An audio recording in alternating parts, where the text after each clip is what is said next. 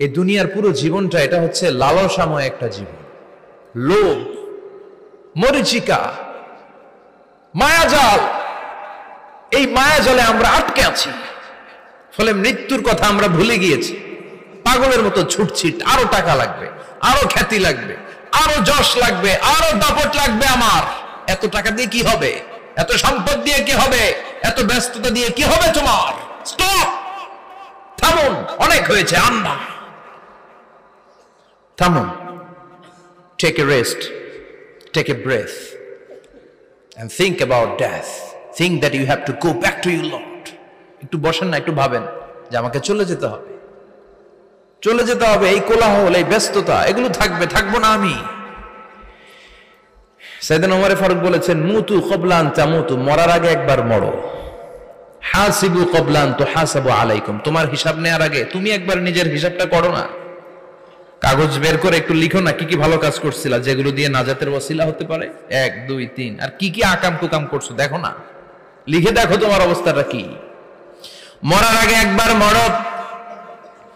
মরার আগে খাটের মধ্যে শুয়ে শটান করে চোখ বন্ধ করে একবার মরার ভান করে দেখেন কেমন লাগে।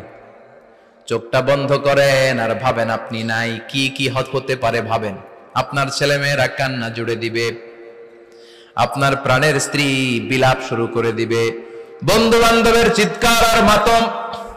স্থানীয় এলাকার মসজিদে ঘোষণা, অমুক এলাকার নিবাসী, অমুক ভাই, অমুকের ছেলে, অমুক দুনিয়ায় নাই। সব আত্মীয়রা চলে আসবে ফেসবুকে স্ট্যাটাস দেয়া হবে। সবাই সবাইকে জানাবে, বিকাল চারটায় অমুক হাই স্কুল ময়দানে আপনার জানাজা। ছুটে আসবে, সবাই ছুটে আসবে। আপনাকে শেষ বিদায় দিতে গুড বাই জানানোর জন্য। আল ওয়াদা বিদায় জানাতে আসবে সবাই। চার তাকবীর দিয়ে আপনার জানাজা হবে।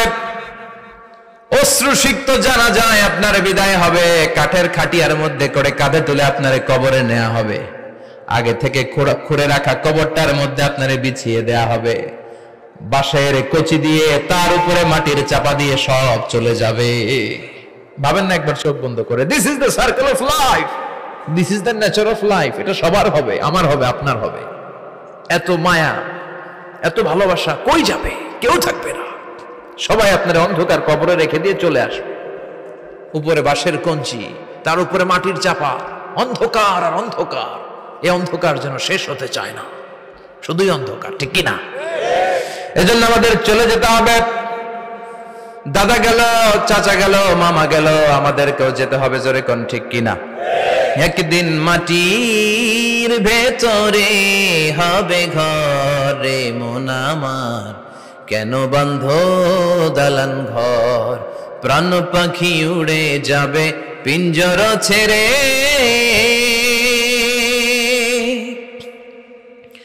ধরা ধামে সবই রবে, তুমি যাবে চলে। বন্ধু বান্ধব যত মাতা পিতা দ্বারা সুত সবই হবে তোমার পরে। মন আমার কেন বন্ধ দালান ঘর? একদিন মাটির ভেতরে হবে ঘরে। মন আমার কেন বন্ধ দালান ঘর? ঠিক কিনা? সব পরে থাকবে। চলে যেতে হবে আমাদেরকে। এজন্য আখেরাতের কথা যেন আমাদের স্মরণ হয়। বিষ্ণুই বলতেন নাহাই তুকুমান জিয়ারাতিল কবুর, আমি তোমাদেরকে কবর জিয়ারত করতে আগে নিষেধ করতাম, কিন্তু এখন নিষেধাজ্ঞা প্রত্যাহার করে নিলাম। এখন সব সময় তোমরা কবরের সামনে যাবা আর জিয়ারত করবা। কবরস্থানে জানতো বড়ুয়া কৃষ্ণপুরের এই গ্রামের কবরস্থান আছে? কোন দিকে? পূর্ব দিকে আছে, গোখরার জলের ওদিকে। যান আপনারা, একটু যাবেন। একটু গেলে আখেরাতের কথাটা স্মরণ হবে। ওখানে ছোট শিশুরা শুয়ে আছে। কিশোর যুবকরা আছে, আপনার মতো তাগড়া যুবক, মুরব্বীরা আছে। এরা এই এলাকায় থাকতো, এরা আকাশ থেকে নেমে আসে না এলাকার সন্তান আজ নাই। একটা সার্টেন পিরিয়ড শেষে আপনিও থাকবেন না। This is the nature of life this is the circle of life ছোট্ট শিশু হয়ে এসেছিলেন। শৈশব, কৈশোর, যৌবন, প্রৌঢ়ত্ব। আগে ছিলেন সিঙ্গেল বিয়ে করে হয়ে গেলেন ডবল এরপরে আল্লাহ আপনাকে একটা মেয়ে দিল। এরপরে মেয়েকে বিয়ে দিয়ে শ্বশুর হলেন। এরপরে ওই মেয়ের ঘরে সন্তান হতে নানা হলেন। আর কতদিন? অনেক দিন হলো তো। অনেক লম্বা সময় পেয়েছেন আপনি। থিঙ্ক অ্যাবাউট ড্যাথ এবার যাওয়ার কথা ভাবেন। আখেরাতের সামানের কথা ভাবেন। ফিরে যেতে হবে। কি শক্তিশালী যুবক। বার্ধক্য চলে আসলে লাঠি ছাড়া চলতে পারে না। কুচকুচে কালো দাড়ি সাদা হয়ে যায়। দাড়ির শুভ্রতা, বয়সের ভার। রং ধরা যৌবন জং ধরে শেষ। ঠিক কিনা? This is the circle of life যুবক ভাইয়ের এটাই জীবন। চলে যেতে হবে। কেউ থাকতে পারবে না ঠিক কিনা? এটা রিমাইন্ডার আল্লাহ ইসুরার ভেতরে দিয়েছেন যে তোমাদেরকে ফিরে যেতে হবে।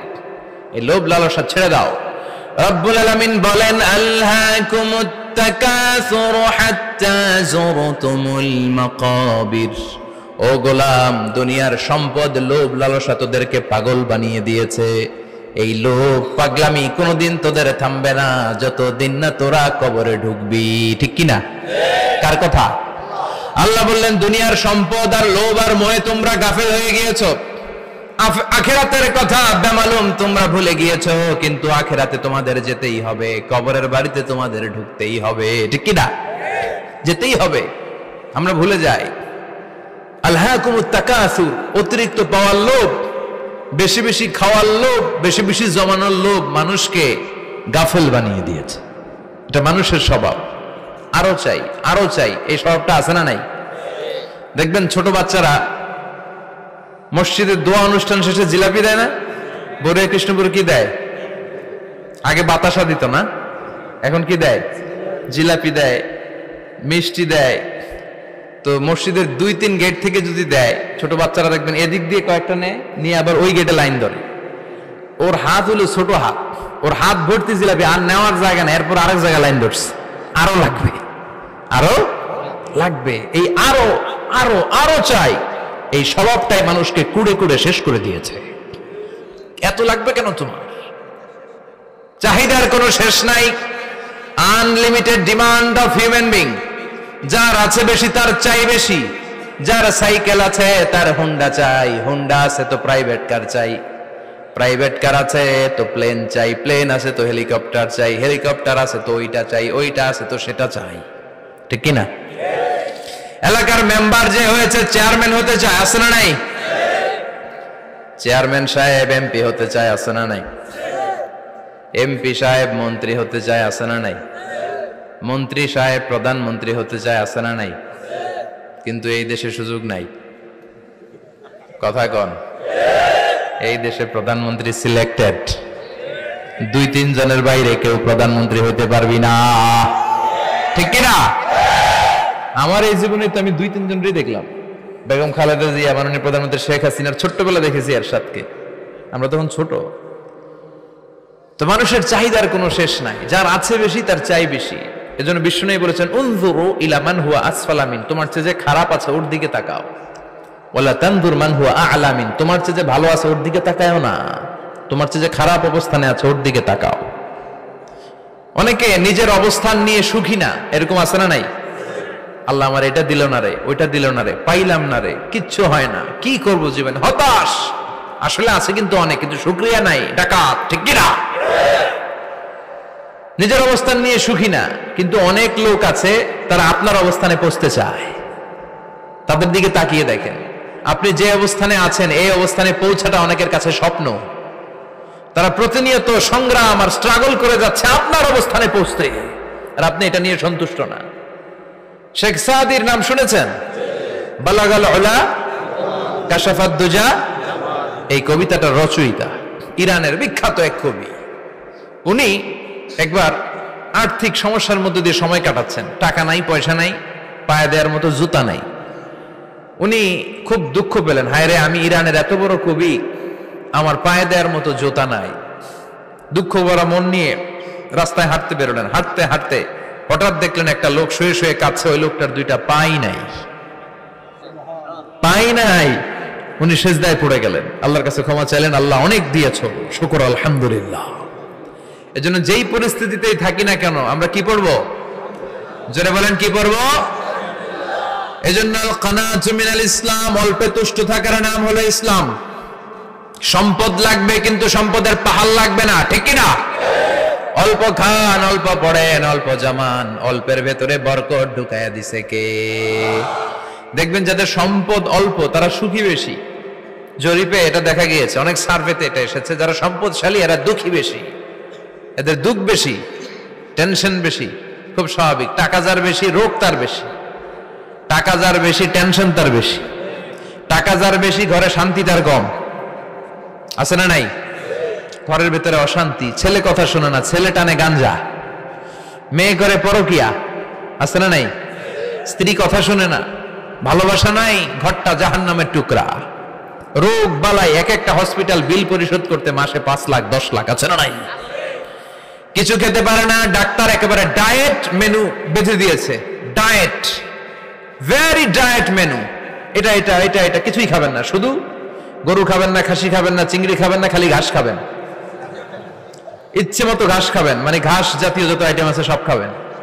শাক খাবেন, সবজি খাবেন, সালাদ খাবেন, গরু, চিংড়ি, মুরগি, গোস্ত, ইলিশ কিছু খেতে পারে না। তাহলে রোগ বেশি, খাওয়ার মজা নাই, ঘরে সাংসারিক শান্তি নাই খালি ব্যারাম আর ব্যারাম। ঠিক কিনা? কিন্তু সম্পদের পাহাড় ঘটেছে। আর অল্প যারা খায়, অল্প পড়ে, রিক্সাওয়ালা, কুলিওয়ালা, অল্প বেতনের চাকরি, কিন্তু হক হালালি মেনে চলে। দেখবেন শান্তি আছে অনেক। হ্যাঁ? বাসা ভাড়া দেয় ফ্যামিলি চালায়, বাচ্চাদের স্কুল বিল এরপরও মাস শেষে এক দুই হাজার টাকা হাতে থেকে যায়।